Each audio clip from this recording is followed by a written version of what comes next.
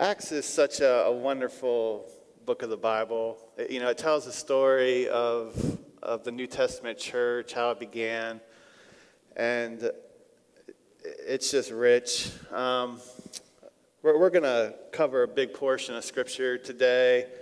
No way that I can possibly uh, preach all that. This, this, could literally be like 10 sermons, um, and I'm not even kidding. So I'm going to read it, though, so that we have the context, and I'm going to focus in on the end. Um, so this is Peter uh, at Pentecost, standing up, preaching uh, his first sermon. Something absolutely amazing just happened. Uh, God poured out his, his Holy Spirit on, on his people, the 120, and a supernatural event took place uh, a sound of a, a, a great wind, uh, the, the, the, story says, and, and then these uh, tongues of fire, that's not normal, uh, resting on, on uh, the people's heads. And they were able to speak in foreign languages. They're all Galileans, and there's people there from, from all over the Roman Empire, Jews that had been dispersed that all spoke different languages. And they were there hearing the mighty works of God being spoken by these Galileans in their own language. Like, it's incredible. I don't even know how that happened. That's why it's supernatural.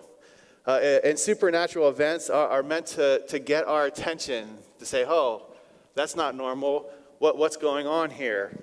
Um, and so that's, that's what we're wondering. And now Peter is going to, to stand up, and Luke records this, uh, and to give an explanation of what all this means. So let's, let's consider um, this, this sermon uh, preached by Peter. Uh, it's the Cliff Notes, thankfully, uh, but it's still long. Uh, Acts chapter 2, uh, beginning our reading in verse 14. Uh, friends, this is God's word, and it says this. But Peter, standing with the eleven, lifted up his voice and addressed them Men of Judea and all who dwell in Jerusalem, let this be known to you, and give ear to my words. For these people are not drunk, as you suppose, since it is only the third hour of the day, which is 9 a.m. But this is what was uttered through the prophet Joel. And in the last days it shall be, God declares, that I will pour out my spirit on all flesh, and your sons and your daughters shall prophesy, and your young men shall see visions, and your old men shall dream dreams even on your male servants and female servants. In those days I will pour out my spirit, and they shall prophesy. And I will show wonders in the heavens above and signs on the earth below blood and fire and vapor of smoke. The sun shall be turned to darkness, and the moon to blood before the day of the Lord comes, the great and magnificent day. And it shall come to pass that everyone who calls on the name of the Lord shall be saved. Men of Israel, hear these words Jesus of Nazareth, a man attested to you by God with mighty works and wonders and signs that God did through him in your midst, as you yourselves know, this Jesus, delivered up according to the definite plan and foreknowledge of God, you crucified and killed by the hands of lawless men. God raised him up, loosing the pangs of death, because it was not possible for him to be held by it. For David says concerning him, I saw the Lord always before me, for he is at my right hand, that I may not be shaken. Therefore, my heart was glad, and my tongue rejoiced. My flesh also will dwell in hope. For you will not abandon my soul to Hades, or let your Holy One see corruption. You have made him known to me the paths of life. You will make me full of gladness with your presence. Brothers and sisters, I say to you with confidence that the patriarch David, that he both died and was buried, and his tomb is with us to this day. Being therefore a prophet, and knowing that God had sworn with an oath to him that he would see one of his descendants on his throne, he foresaw and spoke about the resurrection of the Christ, that he w- was not abandoned to Hades, nor did his flesh see corruption. This Jesus God raised up, and of that we are all witnesses. Being therefore exalted at the right hand of God, and having received from the Father the promise of the Holy Spirit, he has poured out this that you yourselves are seeing and hearing. For David did not ascend into the heavens, but he himself says, The Lord said to my Lord, Sit at my right hand until I make your enemies your footstool.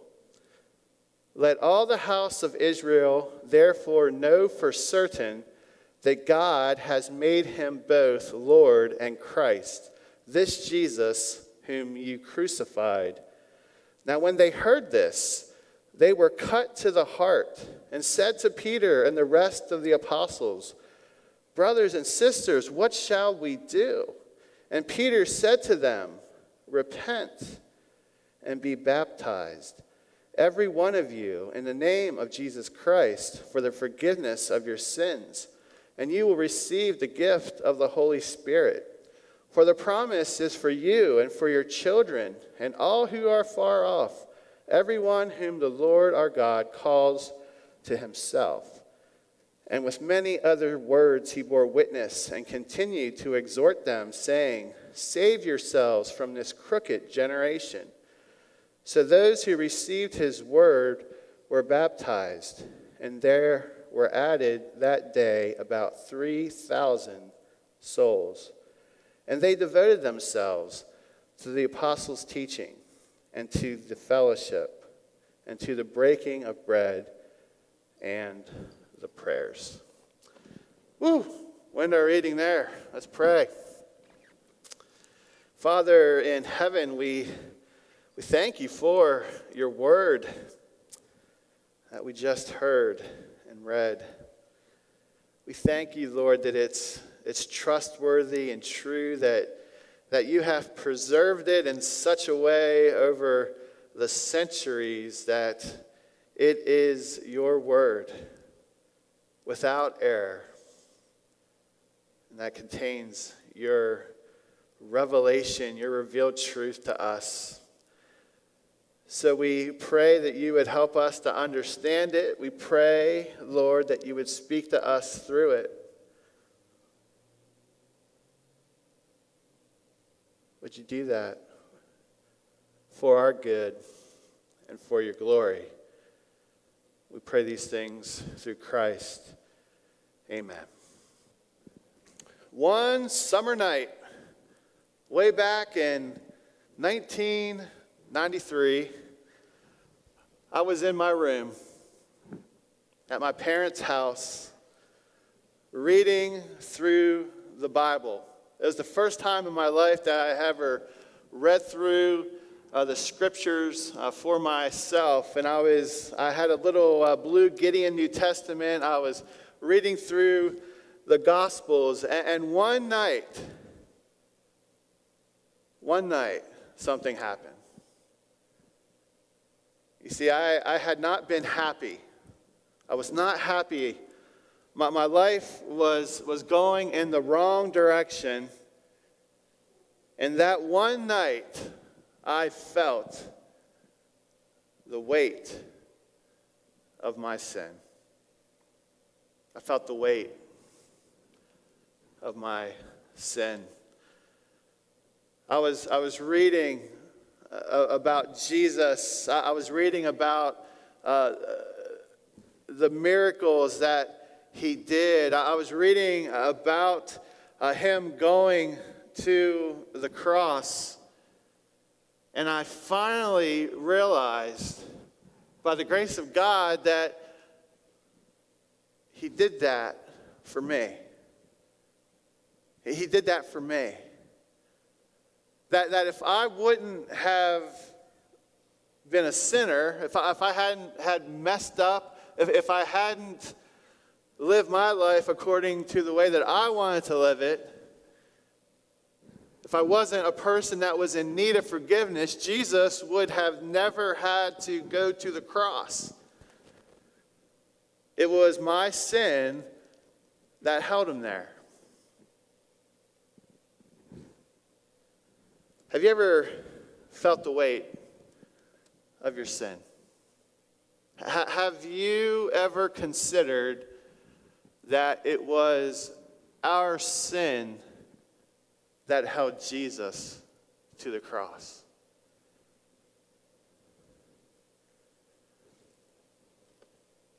We, we are reading here a, a sermon that, that Peter preached.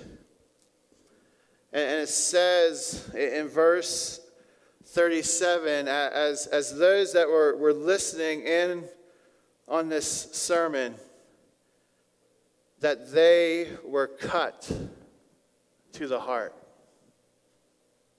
that they felt something.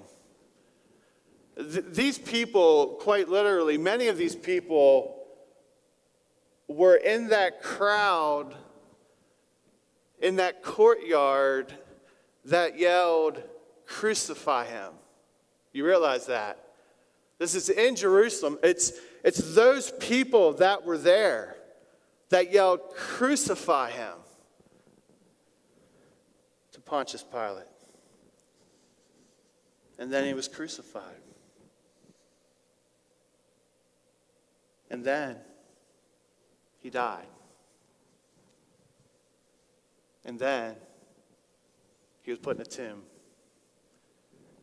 And then, three days later, he rose from the dead. And people saw him. It says for 40 days, he bore witness of himself. Many of these people, I would bet, saw him. They saw him die. They saw him risen from the dead. And now they're being confronted by Peter, and they are cut to the heart. Quite literally, they feel like they are responsible for Jesus' death, that he was crucified because of them. And none of us were there. At least I don't think so, right? But isn't it true? It's our sin that, that held him there.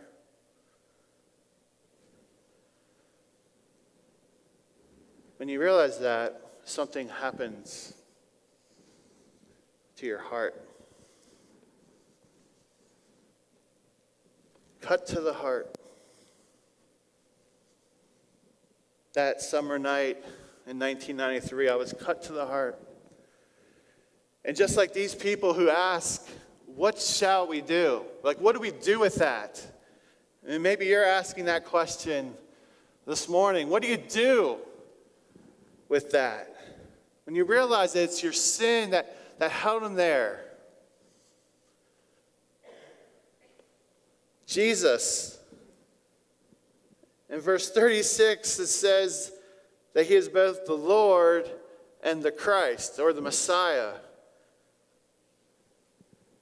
Well, Peter tells them, he tells us what we do. We repent. We, we repent. Because Jesus is, is both Lord and Christ, when, when we are cut to the heart, when we finally realize that it was our sin that held him there, we repent. And everybody has the opportunity to repent. Everybody who has been cut to the heart. It says in Joel's prophecy in verse 21 that everyone who calls upon the name of the Lord shall be saved. It doesn't matter what your skin color is, it doesn't matter your education level, how much money you make or don't make. Everyone has the opportunity to repent. And it's here that we're, we're, we're considering our original repentance. That there are some of us that have been following Jesus for quite a long time. But the text here is pointing us back to perhaps that summer night, if you have that in your story. That original time when you decided to follow Christ, to repent, to, to turn away from living for self and to turn toward living for God. What shall we do? We repent. And what does that actually look like? Is what the text here tells us and reveals to us. You see, a person who repents gets baptized. A person who repents receives the Holy Spirit, and the person who repents devotes themselves to the church. That's what they do. They, they get baptized. It says over 3,000 souls, right? 3,000 people were baptized that day. They were active, they, they responded. Baptism, what is it? Well, if you've never seen a baptism before, you may need to know what baptism is. It's when a pastor either dunks you in water and brings you up because you'll drown if he doesn't. Baptism is when a pastor will pour water on you, or, or, or baptism is, when a, a pastor will sprinkle you with water. Those are usually the three modes that happen. What's important? Water. It's, it's the water that is important. It's that symbol. What, what does that symbol of water mean? Well, we know because we all probably took showers this morning, right? Water cleanses, takes away dirt. That's the, the, the function of, of water in this baptism, symbolically meaning that, that water will wash away our sin. So it makes wonderful sense that, that people who are cut to the heart, who realize that it's their sin that held Jesus to the cross, he's dying for their sin. Or dying because they sin, that they would get baptized and say that this outward reality is reflecting the inward reality of the heart that we have been forgiven. Forgiveness is wonderful, isn't it? If you've ever felt the weight of your sin, the call here is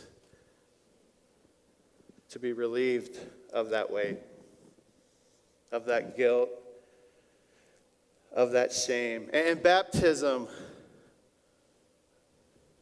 expresses that inward reality that we are forgiven. Do you remember your baptism if you've been baptized? Do you remember that? Maybe you were a, an infant when you were baptized.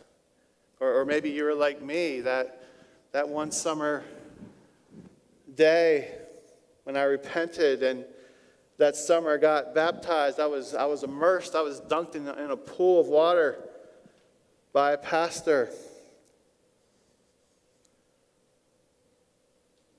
Baptism, if you just pause to, to think about what it means, is it's the forgiveness of sins. But, but, but aren't we declaring, isn't it being expressed that when we're baptized, that all of our past sins are forgiven, right?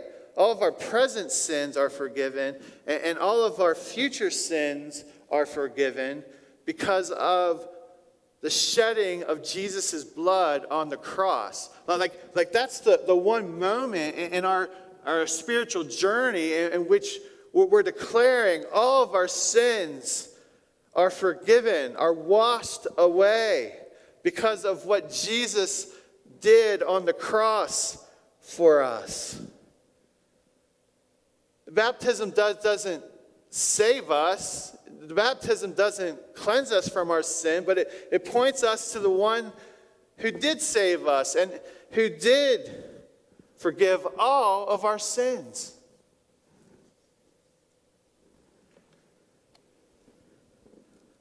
So, the timing, if you think about it, the timing of the baptism is not the point. You, you may have been baptized as, as a child, right?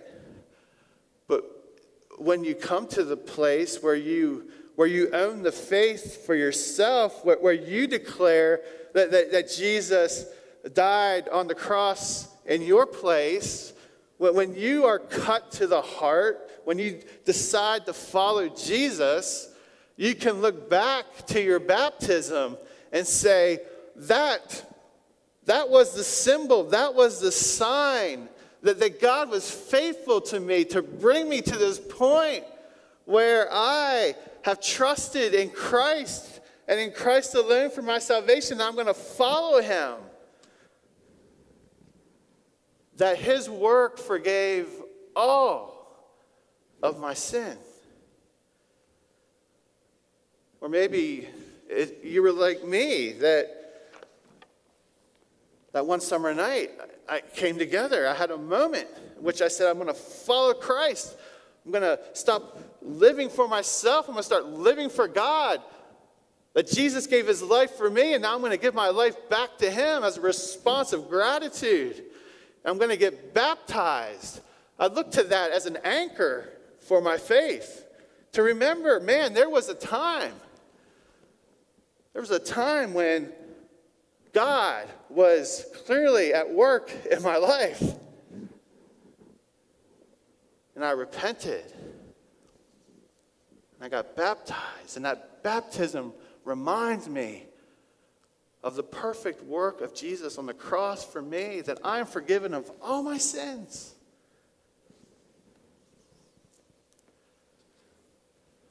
So if you have come to the, the, the place in your journey in, in which you are trusting that Jesus died on the cross for you, be baptized. If, if you've already been baptized, I'd invite us to remember our baptism.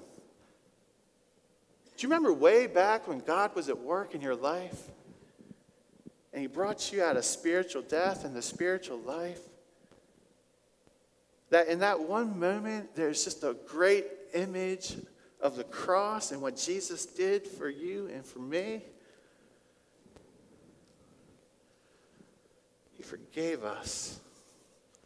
That weight that we carry has been relieved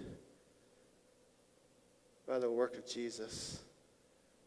Be baptized. Re- remember your baptism. You do that actively. But there's also a, a passive thing that happens when we repent, and that's we receive the Holy Spirit. We receive the Holy Spirit.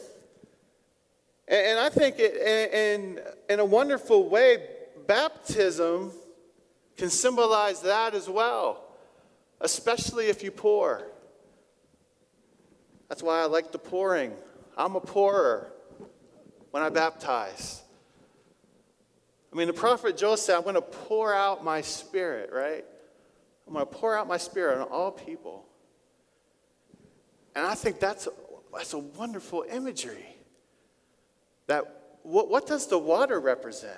I mean, doesn't the water in baptism represent the spirit? Right? I'm going to pour out my spirit. It's just a great, great imagery. Remember JVK when he was down here? We baptized him, that water, all that water, just from above being poured down into him.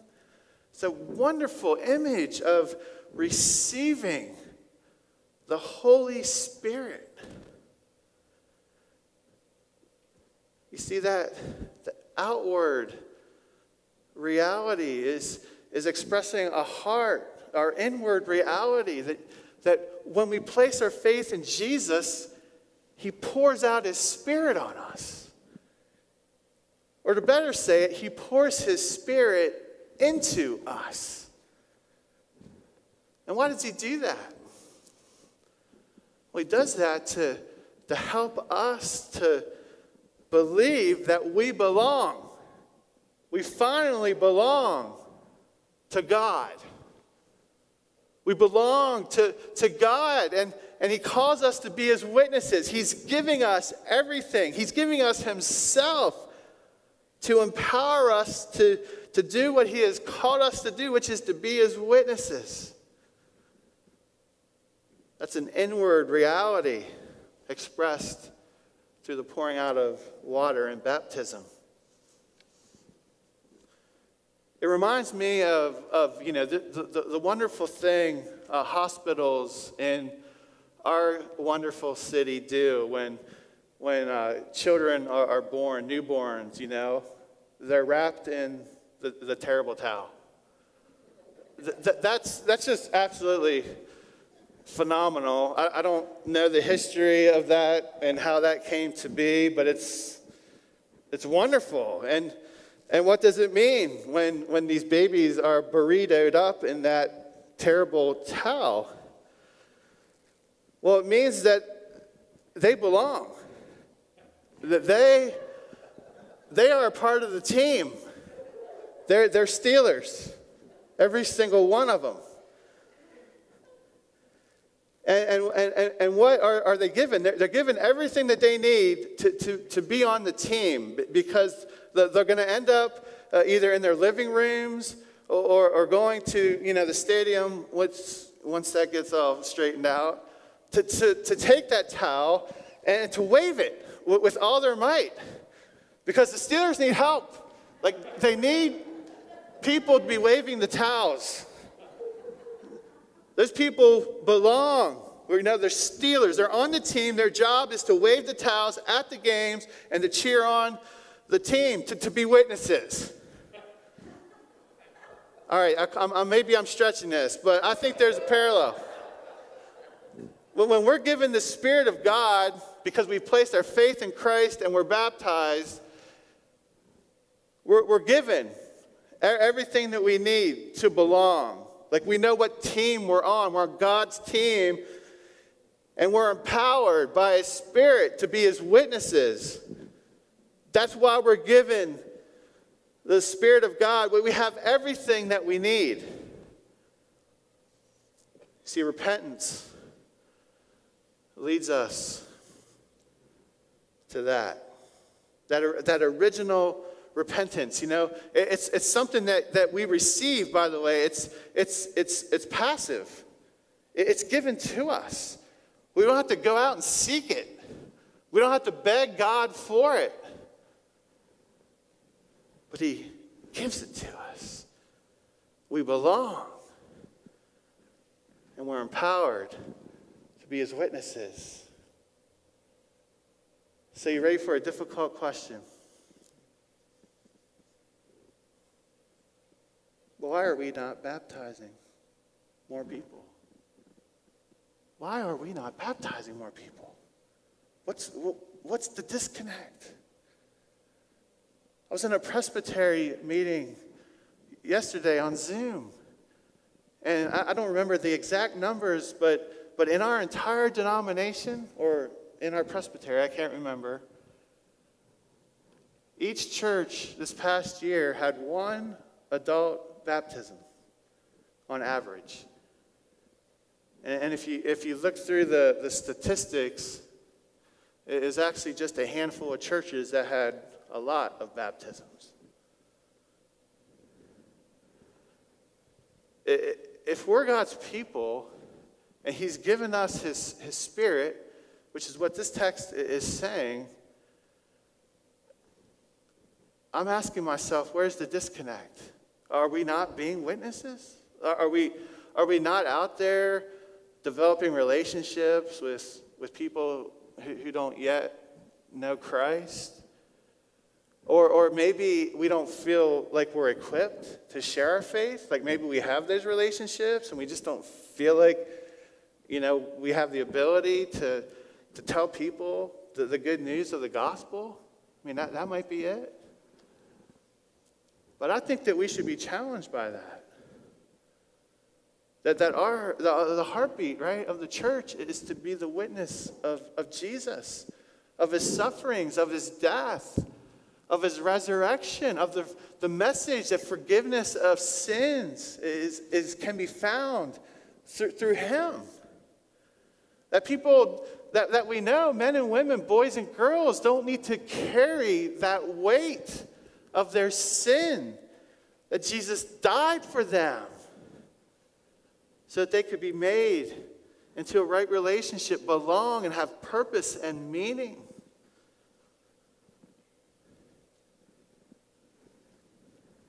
We're forgiven. We, we belong. That's what it means to, to repent of our sins. And finally, we are devoted. To, to, to repent of, of your sin and, and, to, and to turn and to live for God produces a, a devotion and that's what we see in verses 41 and 42. 3,000 souls were added to the church that day. And what did they do with their time? Verse 42 says, And they devoted themselves to the apostles' teaching and the fellowship and to the breaking of bread and the prayers. You, you notice the word the or the that's there. In, in the Greek, it's, it's, it just jumps out. There's a, that's called a definite article. There's a, there's a, th- this means something. These are these four categories of, of, of activity that, that this group of people were devoted to. And we can guess what they mean the, the apostles' teaching and fellowship. is, it's something like we're doing right now. That, that, that the people would gather together and, and to be taught the scriptures. And then the breaking of bread. It's very clear that that, that is, is the Lord's Supper. It's not that they just got together and, and hung out and ate together, although they certainly did that. But this, the breaking of bread, it's a formal title. This is the Lord's Supper. They would celebrate that together. And what else would they do? What else were they devoted to do? They were devoted to pray together. The heart of the church to pray. And they didn't have to do these things, they wanted to. Isn't there just a huge difference between wanting to do something and having to do something, if that's even a word. Want to versus have to. It's Valentine's Day, right? There's a big difference, guys, between wanting to get your wife flowers and feeling like you have to.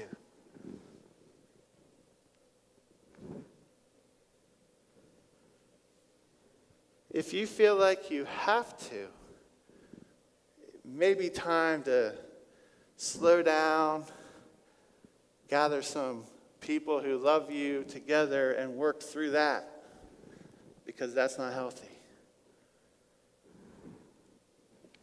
But when you want to, right? We say, oh, to be young again, right? But when you want to do something, I mean, you're, your wife knows. They know. They'll tell you too. But how much so with God? I mean, you know what I'm saying? How much so with God? These are the, these are the activities, the, the practical steps that, that people take when they repent. Like they, they make their church life ju- just as important as every other area of their life, if not more. And they don't do it because they have to, they do it because they want to. So if we're just keeping it real right now, I mean, where, where is your heart at with that? Are you doing things in our church? You, is your participation a, a have to? Or, or is it a want to? Because I think we have to just be honest with ourselves. If it's, if it's not a want to, it's really time to, to consider why, why is it that I feel like I have to do these things? And, and I think maybe the, a, a good first step and an encouragement to our hearts, if that's where we're at, is to consider yet again the forgiveness of God. The forgiveness of God.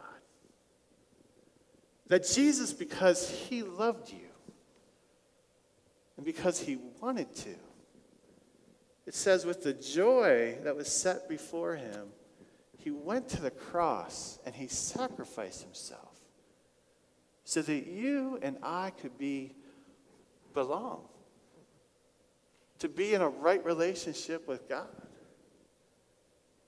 to spend everlasting life in a new heaven and a new earth without sin. Maybe we need to go back there. Because forgiveness and God freely giving himself to us by pouring out the Holy Spirit into us. It's those things that empower us to be devoted, to want to do the things that God's people did here in the early church. If you've never placed your faith in Christ, if you've never been baptized, let me just encourage you to do that. To, to, uh, to embrace Jesus as your Lord and as your Savior. And let us know. We'd be happy. Wouldn't we be happy? Would we not be happy to baptize you like right here next week?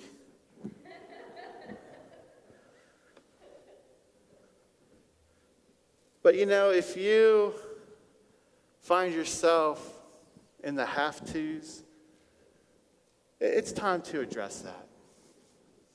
It's time to, to go back to the forgiveness that Jesus has secured for you on the cross.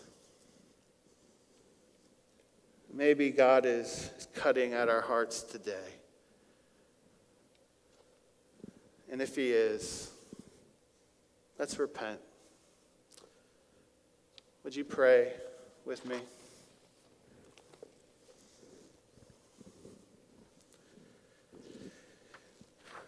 Father in heaven, we just come with a, a heart of confession this morning. A heart, Lord, that that knows that we have fallen so short of, of your glory, of your, of your standard.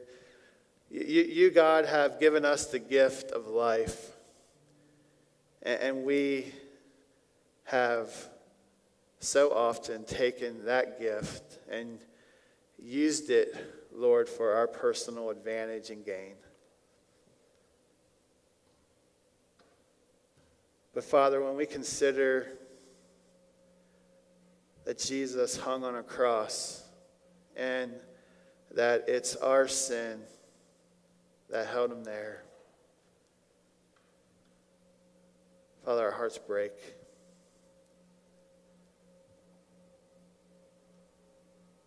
Lord, if we've never trusted in Jesus as our Lord and Savior, we do so now. And Father, if, if that is something that we have done, oh Lord, we just give you praise for our baptism, that, that event, that symbol, Lord, that just points us to the wonderful cross where all of our sin was covered by the blood of Christ. And we're happy, Lord, to continue in a spirit of repentance, of when we realize, Lord, that we are no longer living for you by the things that we say or the our thoughts or our actions, Lord, we are just so happy that you don't give up on us. We're so thankful, Lord, that you simply call us to confess that to you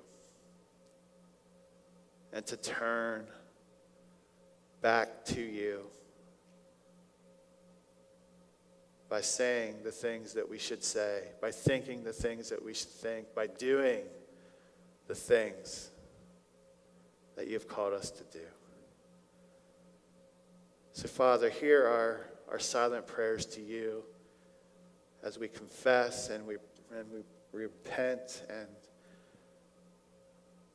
we once again go back to the cross where all our sin is forgiven.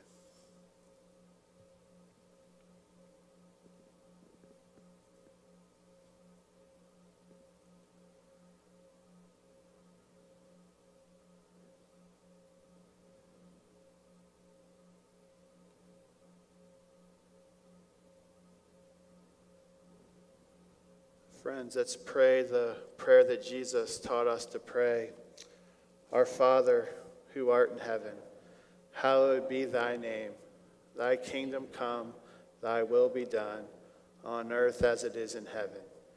Give us this day our daily bread, and forgive us our debts as we forgive our debtors. Lead us not into temptation, but deliver us from evil. For thine is the kingdom, the power, and the glory forever.